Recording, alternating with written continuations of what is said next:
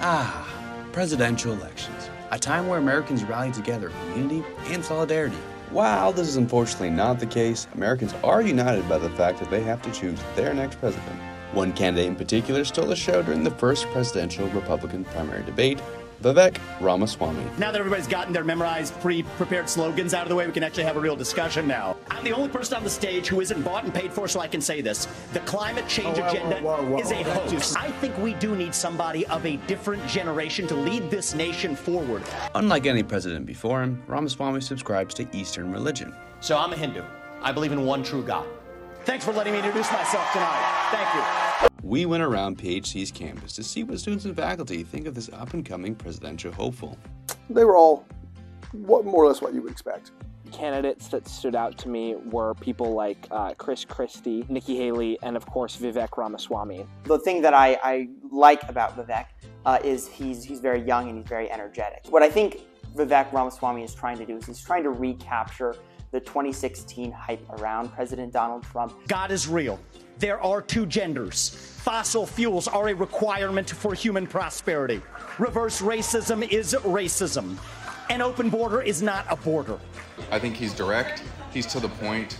Um, he says exactly what he believes, and he says what he wants to say. If he's talking about issues, love what he says.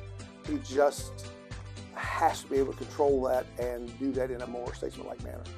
No, I don't believe that that's necessary because despite the fact that the United States is to some extent built on Judeo Christian values, it's, I think, denying um, the image, people being made in the image of God, general revelation, and common grace to say that somebody needs to have Judeo Christian values to be able to uphold them. Can they do it? Sure. Is it what the for, uh, the founders thought would be ideal? Absolutely not. They're very clear. Now, as, as, as an individual, the, the person that I'm looking for to be the president, I personally would prefer someone who is who does have a foundation of Judeo-Christian values. I think those are generally the values that govern Western culture. I don't think that's 100% necessary. It's not like I would not ever support a candidate who is an atheist or of another religion. While it is true that he's Hindu, um, he received a Catholic education um, and he holds to America's traditions and history, and he believes that a return to this tradition and history is important in a political context.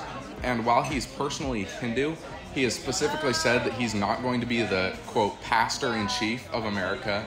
Well, the, the, the, the issue would be he may uh, have a uh, good moral as far as right and wrong. He won't have uh, the Holy Spirit supporting him. When we look back, many of our presidents have, haven't operated from a moral Christian perspective.